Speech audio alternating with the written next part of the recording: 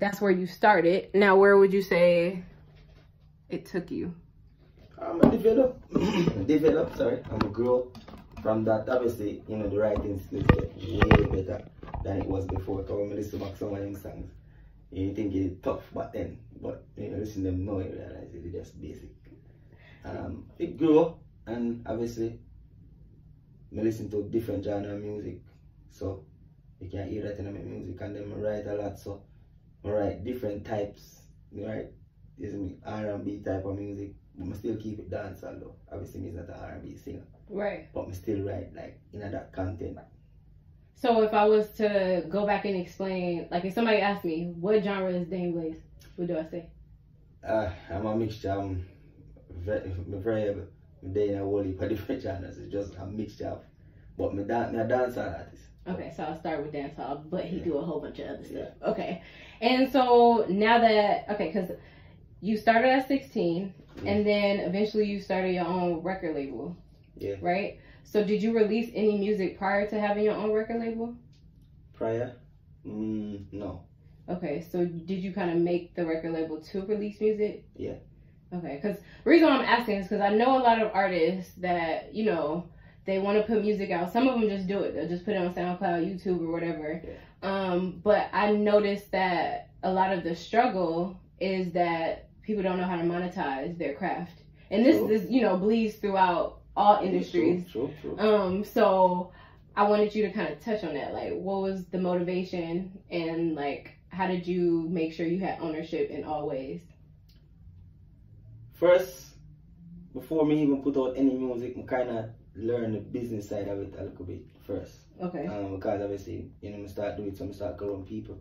I mean, I'm a business minded person anyway. Like, before me, I put out record, obviously, I try little other little stuff and I always I think of ways for, you know, build me stuff, my thing. So, that just come natural. Me end up learn about it and learn how to put out a song because obviously, you start see other artists where I sing for years and then I make nothing out of music. Nothing. So you start to realize, say, yo, maybe them not do the wrong thing. Then you, you hear say, producer rob the artist them because them not really know and all type of stuff. Mhm. So you don't know me, no want get myself in another lane there, so I just educate myself.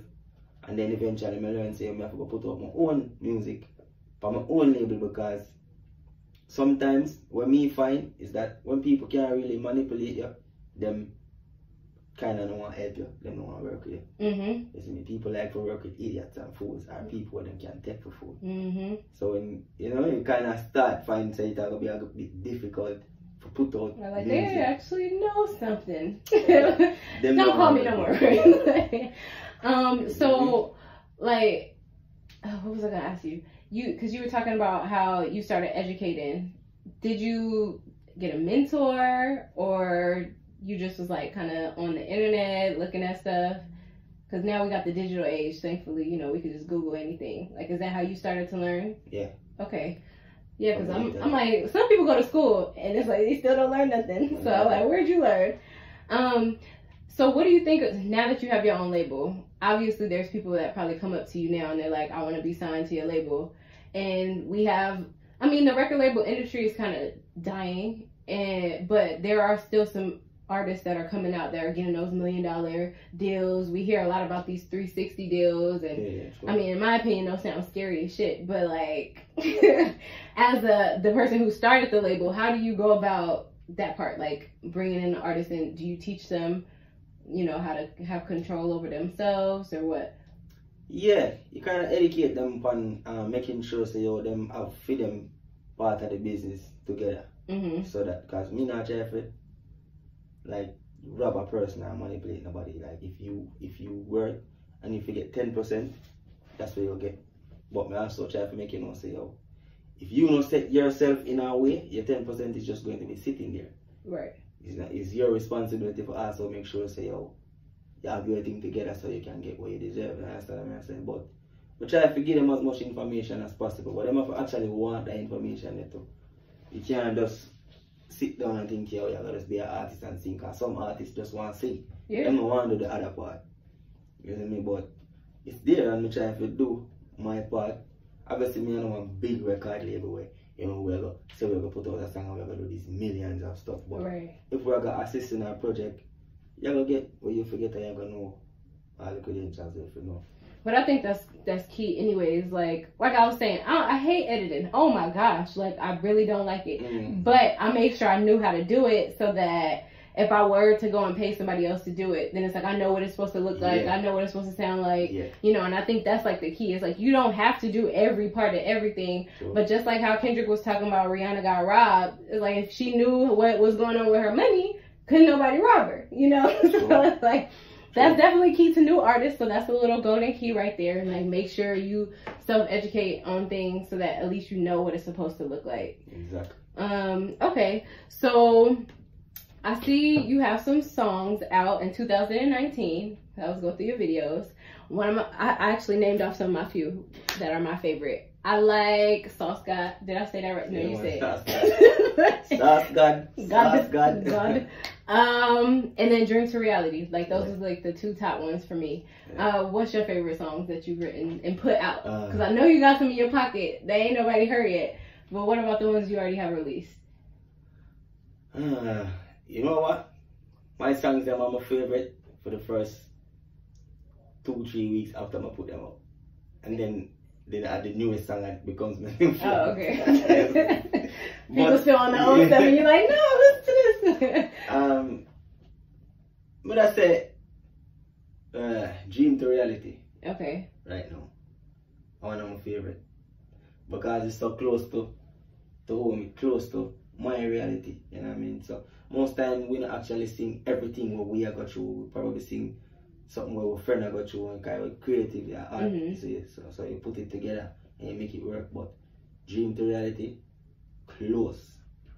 Because you know we grow poor, we live in the ghetto, so it's not easy. Like you know, everybody say oh it's not easy and it this and it that, but when you when you go through it and you live it, it's a totally different thing. Right. You know what I mean? So you trying your best to show people, like, nah, that's really yeah, ain't yeah, it? yeah, yeah. And it's funny too because it's like it's not easy, and most people that grow up like that, you know, not even just most, basically everybody that grow up rough, Mm. they trying their best to get out of that. Yeah, that's that's me and him. But there's people that grow up nice and they like, oh man, I wish I knew what it was like. And I'm like, no, you don't. Just appreciate what you have. You know what? Right, because you know you you get some good cameras, put a little nice filter on it, put a little melody to the beat, and then they think, oh, it sounds Yeah, nice. yeah. I want to do it. Like you have some youth will grow up like I mean anybody can be any way they want to be, but you have some people we don't know nothing about like for instance a certain type of lifestyle, but all them songs is about that. right. You know what I'm saying? There's some artists out there right now that live that life. Yeah. Mm-hmm. Mm-hmm. We ain't gonna name no names. I don't want no shots fired. But um, so the other song, Pretenders, Great pretender. Great Pretenders. So was that about personal, or was that like a Um, related? That's just related. I know really personal, personal, personal. I mean, personal, you know, similar experiences, but that, that are more related. I mean, that's an everyday story. You're there around, you grow up, people were part together, um, you know, grow up from school you know, kill each other and, you know, me, who not, you know, they with each other, girlfriend and all type of foolishness, you know what I mean, stuff like that. So how just you keep yourself away from that, especially doing stuff that you're doing. You know, you have a following, you have music out there, and you know, you get a request to do interviews and stuff. So people are looking out for you Mhm. um, in that way. So how do you make sure that like your circle is tight? Ah, Yeah. over time, over time, over time you learn how to weed out the bad grass. uh huh. You mean? Not even bad grass. But you, you, you pull out the bad weed out of the grass. Sorry, I'm doing that wrong. I mean, it's bad grass. You know, it can get dry. You know, but you have to keep checking and you know what I mean? Me personally when I deal with things, I confront me is a confrontational person. So I confront a lot of situations straightforward. mhm. Because most of the time when you confront situations straightforward, there's not really much places you can go. You have to kind of just deal with it. Right. You understand? If you wait and you know want and people get this this chance to twist up stuff and go wrong Right. and all that stuff and then you, you see me sometimes it ain't worth it. Right. Cause bigger problems. So I just confront things straight. And energies are real though too, because especially what you said about the like trying to wait. It's like you're getting a vibe already that something is not right. That person is getting the vibe that you getting the vibe that something not right. so, so it's like they gonna start moving differently because obviously you got something that they want or need or whatever they perceive in their head. And yeah, I'm I'm like that too. I, I agree. You just gotta go head on. So um yeah, I like that song too. They the video was crazy, Too. I was Like, man, no, when I saw her fingernails, I was like, that's the girl, yeah. it's like, oh shit. Um, okay, and then the last thing I wanted to talk about was because for me, my introduction to Caribbean music, and I mean, I had a little bit like I was telling um, Jason, I was telling him that like one of my first introduction outside of Bob Marley was Dancehall Queen, the movie. But for the most part, it was kind of like here and there, not really like heavy, heavy. But I'm from Cali, so when I moved to New York, and then I was around all the West Indian people. Mm. That's when I was like, oh shit, like this world, right? This world is huge. Like what? I've been missing out. And so then I started to learn the music. Had to get used to the accent. Like it was a whole yeah. experience, you know. But um, on the flip side, from the Jamaican side, trying to you know break out into you know the other countries and arenas. Yeah. How have you like started, or how did you do it? Like um, from Jamaica side for breakout, usually there's there's many ways it can work. For me, networking, um, make networking play a major part for me um, in my music. Because before me really start get my music play out, like me, you know, try to reach out to people, different countries and different, you know what I mean, try to meet them and use the internet as a tool mm-hmm. for kind of reach out, and it worked for me um, UK, um, Canada. Yeah, UK is heavy for yeah. Caribbean too. Man, that was man, that carnival was fun. That carnival Nothing was fun. Carnival? Yeah, that shit yeah. was, that was popping. I thought the West Indian Day Parade in yeah. New York was fly. And then I went to that one. I was like, oh, y'all shitted on that That shit the whole year. Carnival. That's a that's a that's a that's a landmark carnival. A carnival is a is a is, um, It's one of the biggest, I think. I can't I can't remember if it is the biggest, but it's definitely one of the biggest. It's there. I don't really know um, any carnival was bigger than Notting Hill Carnival. Okay, yeah. So that one was like it. Reggae Sunfest, one of them. So how can you get involved with something like that? Yeah, I mean, um. You Come on, man, I gotta work. see you out there. I gotta see you, you out there. put in the work, and, and eventually you will, you will, you will, you will, you know, reach. Cause as me I say, one networking play a part, and two just work in itself play a part. So the more you network and the more your music get out there, obviously, you know, you will, you will. Cause in nothing in carnival, like I'm not new to England. I've been to England um, more than one time, so I've been to that carnival too. Mm-hmm. I've been there once for performing at a carnival, eh, you just really need for just be there at the time of the carnival or, you know what I mean, shows around that time. Mm-hmm. You, know, you, you, can get there for perform because obviously we have a for people you know over this. Yeah, no, that shit was fire. Man, if I go there and I see you on stage, I'm like, hey. if you go anywhere and see me, I go to that. Yeah, I got you, I got you, I know. right, right. um, so I guess last thing, how do you stay consistent? Because I know life get in the way and you know drama, whatever, money, whatever come up. Like, how do you make sure you stay consistent with your craft? I never stop right. Okay. I never stop right, even if I can't get for record. Cause sometimes I not get for record as I want to. Sometimes, as I said, life coming out of the way, and me get distracted doing other stuff, but me still never stop right. Even if I want to go home before I go to bed, or most time I write like early in the morning, like three between three o'clock and them time there, but always alright. Never stop right. Okay. So I always have the new flow them and the sound and try to keep myself relevant with what I go on. Cause me know say whenever I'm going to the studio, I go on to be up to date with is it my thing. Right. I'm gonna try to find just to, just to try to update myself anyway. I don't want to stay up on the same level and the only way to do that is to keep working. Okay. To me anyway. So shout out your newest song, what you want people to listen to, where they can find you, and any message you got for the for the not just LA people, but the US people that's just now learning who Daine Blaze is. Alright.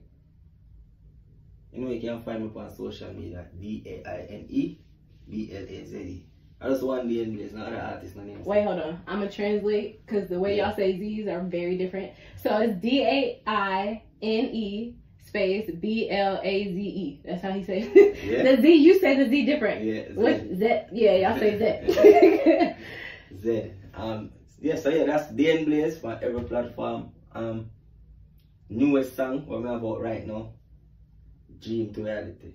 yes. Dream to Reality. That have been the latest single. Well, it's not even a single, it's a compilation, but that's my song I promote right now. Um, just do the video feed.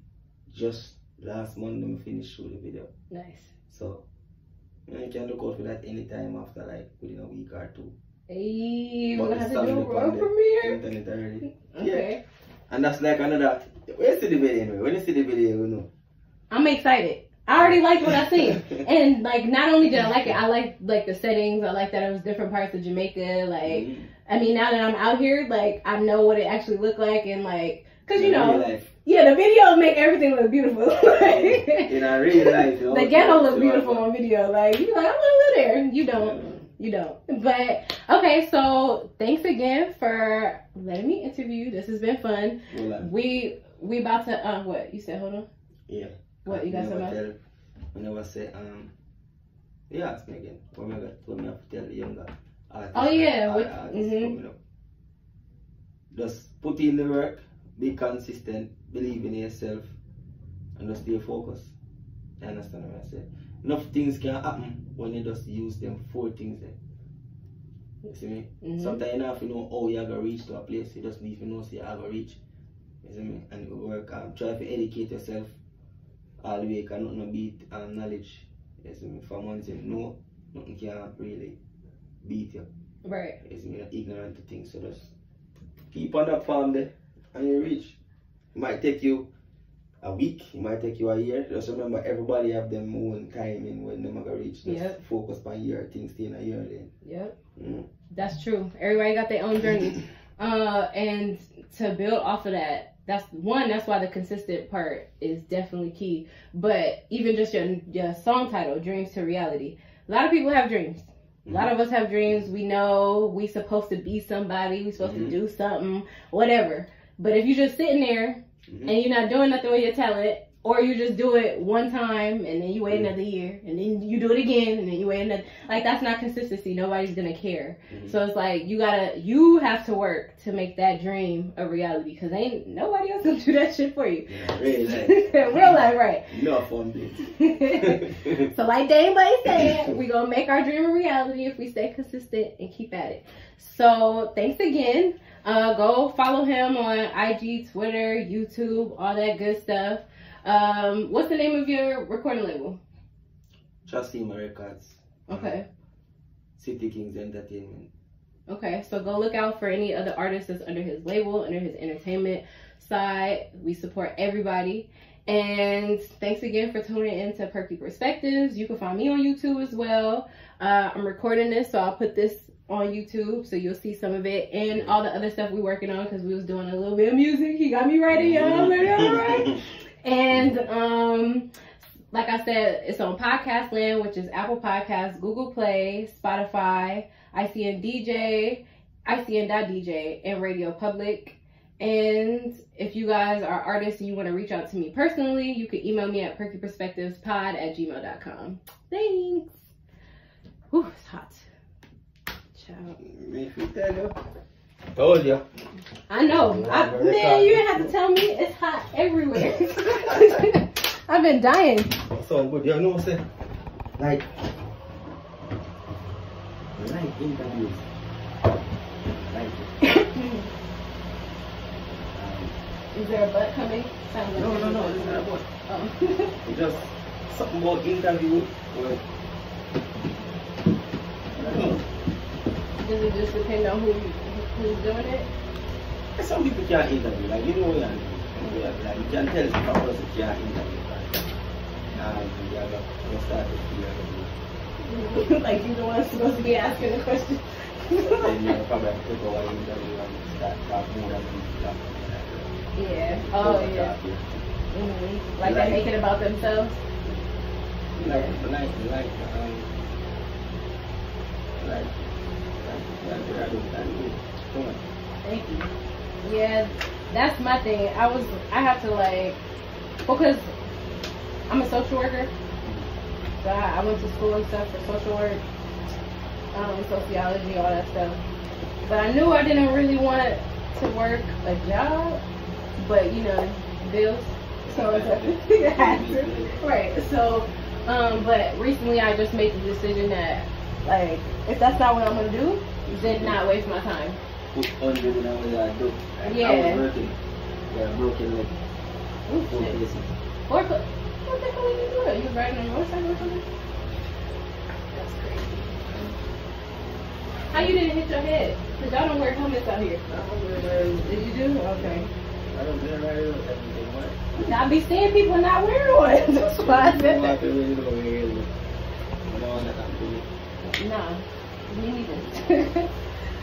But you know it's funny. They say that you know when I do her, people will say, you, you, you try to find it.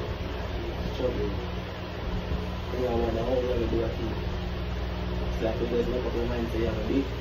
You find say, same thing that you think you couldn't do, still a there. And hmm you still do it one because you have one energy there, you know, push it. And you know, make things just fall into. Yeah, and I think like that's the best part about like finally taking that leap is that the universe catch you. Yeah.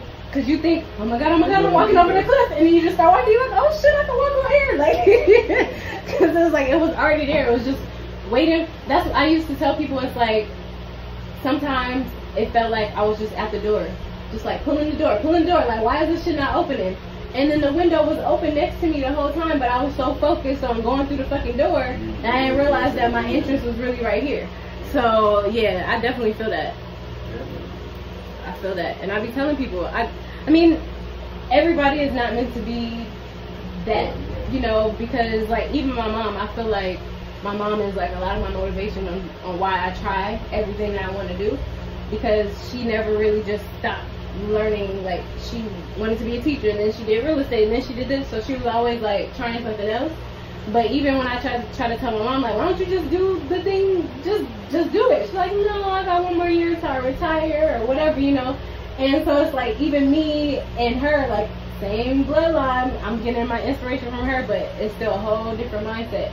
And like like I said in the song, like no regrets. Like my grandma, she want to go to Japan. But she in her 80s now. She's like, no, I don't really like flying. Da, da, da. But I'm like, if I get to 80s, I'll be on every plane. Like, like I done already did everything. but yeah, perception is, Yeah. is definitely key. You know, Right there. Let me look. Look. I'm excited. Okay, so I gotta edit this. It's gonna be fun. It shouldn't be that hard though.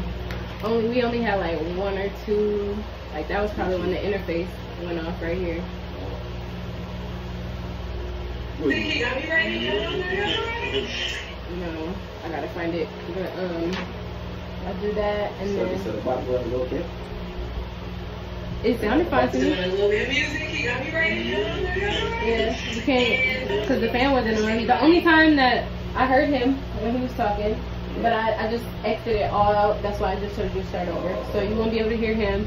The only thing is when the interface went off, uh, you kept talking, so I might just keep it. But Oh, this. Yeah, when I put this. yeah, but it's fine because it's a podcast. That's the fun thing about a podcast. They don't have to be perfect. Oh, stuff, stuff that happens. hmm Yeah, people be smoking and shit. Like podcasts are way more free, so I might keep it. This one is good. It's. Um, it's. How long was that? First thing I do a podcast. Yeah. No more podcast. I mean, I don't really know nothing about